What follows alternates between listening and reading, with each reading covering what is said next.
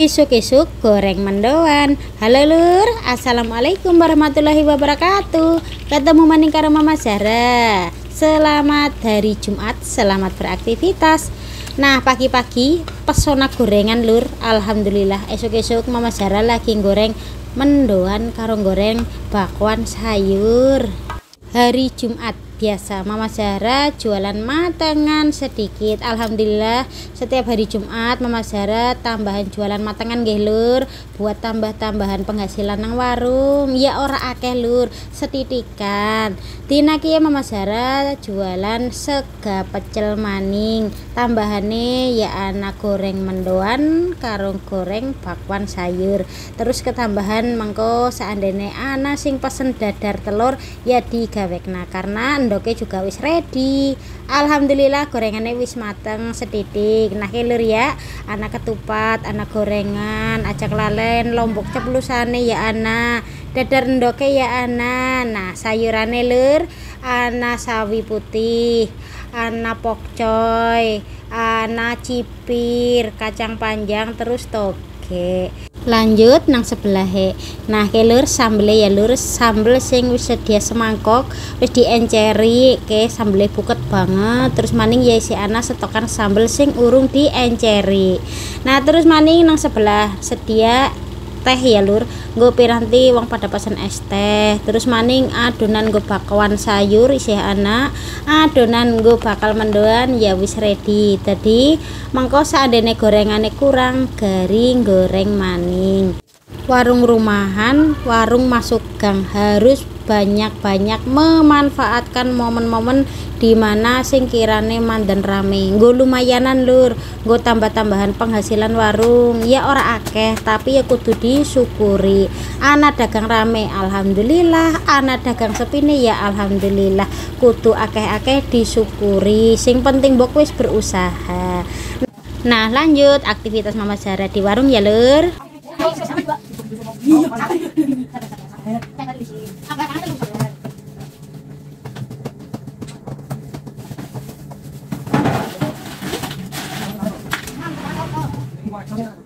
我我这下面我已经做一个三毛钱再看一下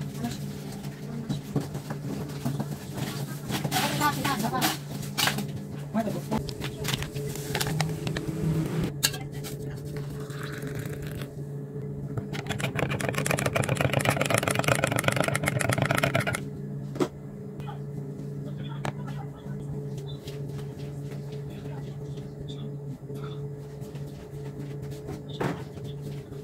Nah lanjut saya mau beresin hasil belanjaan pagi.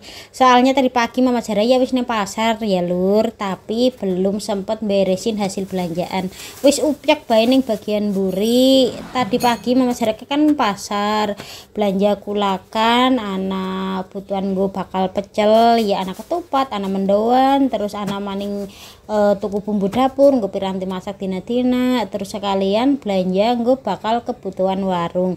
Anak gula anak terigu anak tepung beras anak minyak anak kopi wis pokoknya barang dengah sing isian gue bakal warung. Nah ki karena wis mandan senggang jadi lanjut mau saya bereskan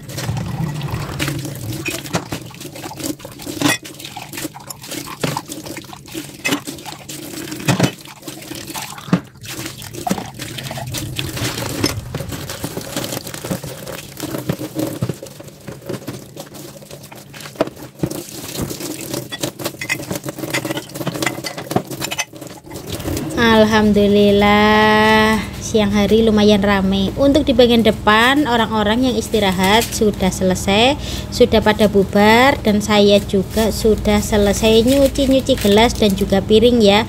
Alhamdulillah ya lumayan ramai lur. E, jadi ini tadi saya sudah beres-beres di bagian depan dan juga di bagian belakang lanjut ini ada yang pesan kopi tapi minta dibungkus. Tapi untuk bungkus biasanya ntar pas lagi waktunya pembayaran itu biasanya saya bawain gelas plastik juga ya. Jadi untuk bungkus kopi ataupun bungkus minuman itu biasanya saya tambahin dengan gelas plastik satu ataupun dua ataupun berapa yang kiranya dia pesen.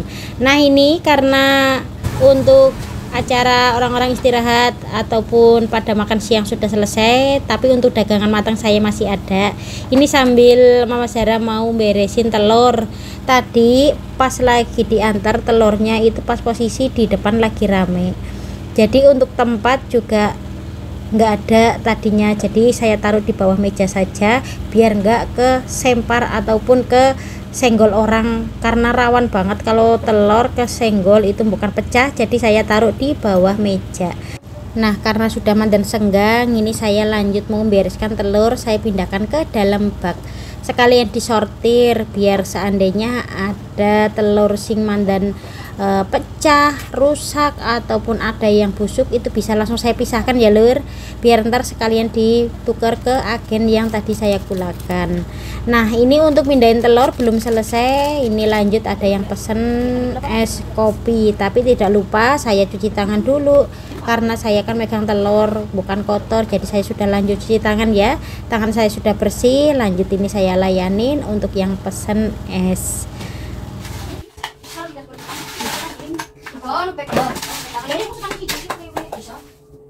Nah lanjut saya beresin telur lagi. Untuk telur ini biasanya setiap selesai kulakan Itu langsung saya bereskan ke dalam bak yang ada tutupnya. Jadi kalau malam itu bisa saya tutup terus di warung saya juga biar tambah kelihatan rapi. Soalnya namanya warung saya itu warung minimalis. Kalau malam itu ada motor saya dan juga motor pak suami di dalam warung. Jadi untuk tempat itu kadang kayaknya mandan sumpek kayak gitu ya lur.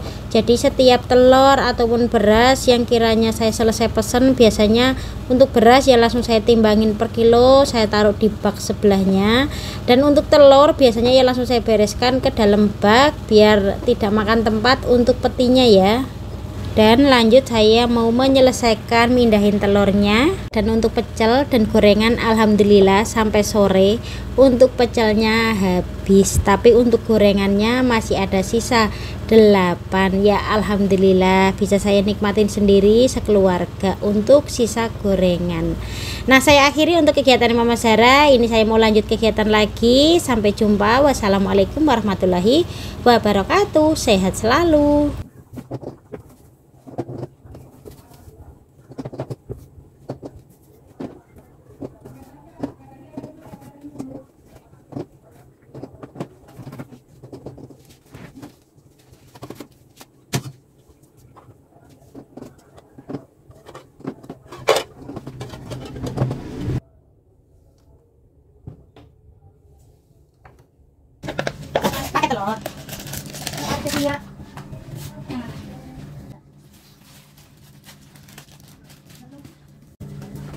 Kurangin mo niya kulit.